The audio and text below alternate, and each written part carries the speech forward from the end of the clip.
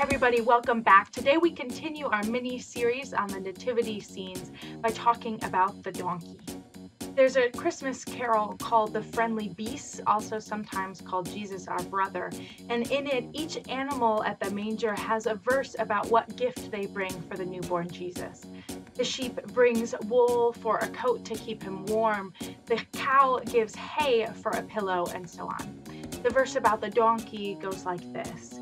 I, said the donkey, humble and brown, I carried your mother uphill and down. I carried your mother to Bethlehem town. I, said the donkey, humble and brown.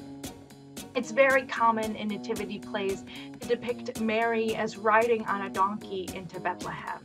Pretty much every Christmas movie ever made has it this way, and countless children's books feature the point of view of this donkey as he witnessed the birth at the manger. The problem is, if you read the Bible story closely, there is no mention of any donkey.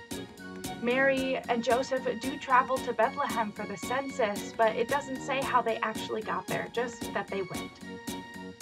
As it turns out, even the early church imagined Mary riding on a donkey. There are plenty of other Christian writings that we have that we know of that didn't make it into the Bible. Either they were written too late or the early church already decided that they were not at the same caliber of writing as the ones that we do have in the Bible.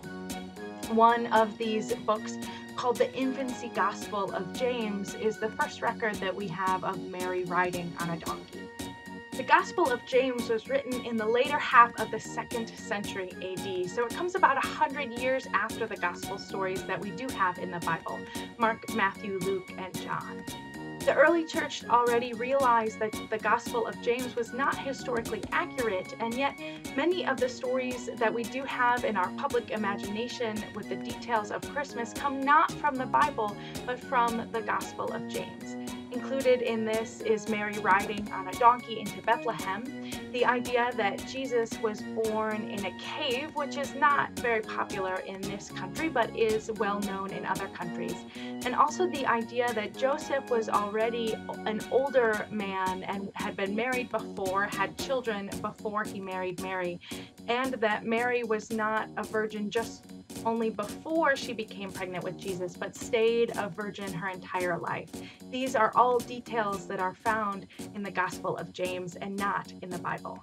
What is true about donkeys and why the early church liked donkeys so much is because they are a symbol of humility and service. Rather than a horse which symbolized physical strength and military power and domination, donkeys became a Christian symbol because of their strong but quieter spirit. The truth is, there is no specific mention of any animals being present at the birth of Jesus. But we have long imagined it that way, and part of that is to say that Jesus' birth was not just for you and for me, but it was to show that God is here present with all of creation.